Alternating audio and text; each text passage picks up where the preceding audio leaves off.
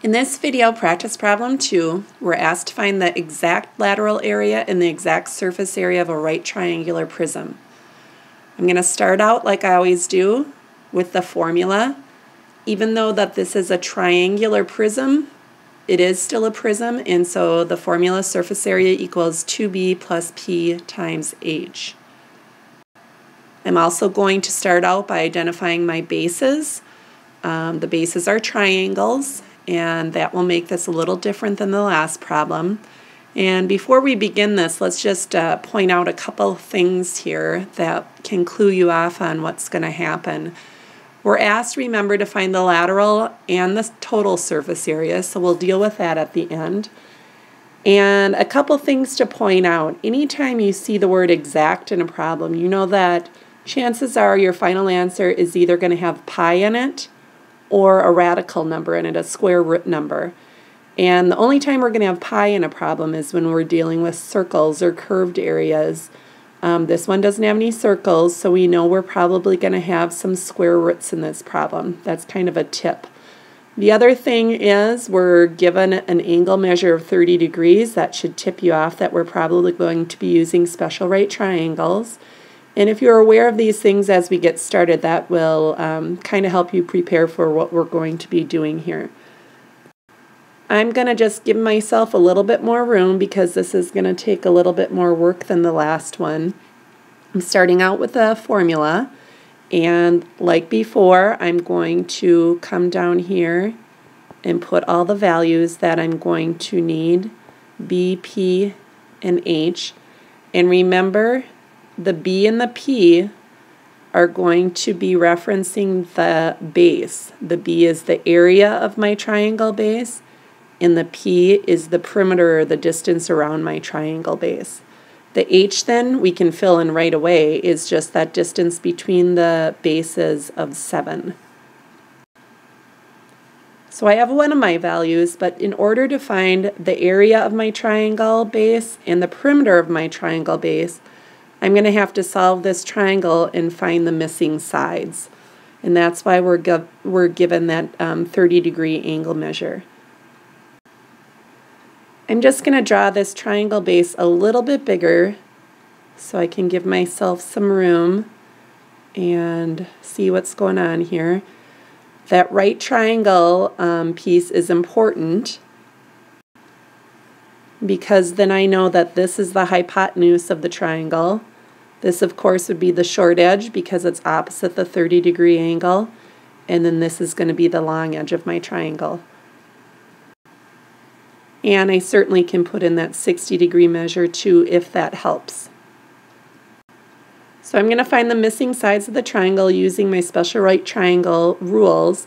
Opposite the short side is n. I know some of you guys probably use x or 1. I use n. Hypotenuse is 2n. Long side n root 3. I know then my given side, I set it equal to the rule, n equals 4, and this one is pretty simple then. If n equals 4, then 2 times 4, the hypotenuse is going to be 8, and the long side, if I plug in, n equals 4 is going to be 4 root 3. So I'm just using the special right triangle rules to solve the triangle. And now that I have all the missing sides, I can go ahead and find the area of the triangle and the perimeter of the triangle. The area of the triangle, of course, the area is 1 half base times the height. And it's important to remember that the base and the height of the triangle, no matter what way it's facing, are always going to be the two pieces that make that perpendicular, that are perpendicular to each other, make that right angle. It doesn't matter that this side is on the bottom. We want the two pieces that are perpendicular to each other. So 1 half times base times height becomes 1 half times 4 times 4 root 3. Doesn't matter what order you put that in. And when I simplify that, I can do 4 times 4 is 16, and then 1 half of 16 is 8. And then, of course, that root 3 just stays alone as it is. So 8 root 3 is going to be the area of my base. All I did was combine 1 half of 4 times 4. The perimeter of my base, then I'm just going to add up all of the sides. I have 8 plus 4 plus 4 root 3. And again, combining like terms, I can only combine the 8 and the 4 when I'm adding those up. My final answer for the perimeter, I have to leave it as 12 plus 4 root 3. I cannot combine those because I'm adding those two terms. And remember, we're asked to find the exact values of the lateral area and surface area, so we want to leave those in square root form. And so now I have all the values to plug into my surface area formula, and I'll um, go ahead and simplify that. So my total surface area is 2 times b, 2 times 8 root 3 is my b, plus my perimeter, 12 plus 4 root 3, and that perimeter times the height of 7, and I almost ran out of room. It's really important to um, put the parentheses here because this 12 plus 4 root 3 times 7, I'm going to have to multiply the 7 times each of those. I can distribute that 7 even though it's on the right side of this term. And when I'm multiplying perimeter times height, I have to distribute that 7 out to everything that is in the parentheses. So if I go ahead and simplify the first term, 2 times 8 root 3, I'm going to multiply the 2 times the 8 and leave the root 3 as is. And then the second term, I'm going to distribute that 7, and I'm going to say 7 times 12. 7 times 12 is 84.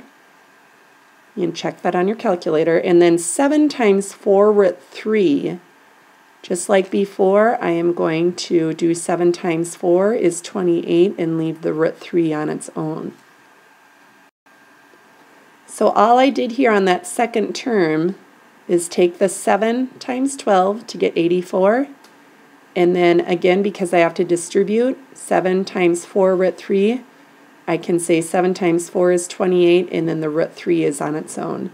And now the final step, I have three terms here that I'm adding and I want to combine like terms. And because 16 root 3 and 28 root 3 both have root 3 in it, I can go ahead and combine those. 16 plus 28 is 44 root 3. That root 3 stays in there. And then I'm just going to add the 84. This is my final answer for the total surface area. Sometimes the answers look kind of weird, but I can't combine that anymore because I'm asked to find the exact surface area. I have to leave it in those two separate terms. I don't want to make this into a decimal and combine those out. I'm just going to have those two separate terms. Just like if I had pi in one of my terms, I'm going to leave them separate and not combine them. So that answered the question for the exact surface area. And now the final piece of this is to find the exact lateral area. And the lateral area, remember, I don't need to go back and recalculate all this. The lateral area is represented by that P times H. And that's why I like to do the total surface area first, because then I can come back down here and say my lateral area was this portion of the surface area. And so I don't need to recalculate anything. I can just go back here and say my lateral area was 12 plus 4 root 3 times 7. And when I simplified that, I got 84 plus 28 root 3. And again, I can't combine those. And so my final answer for lateral area is 84 plus 28 root 3.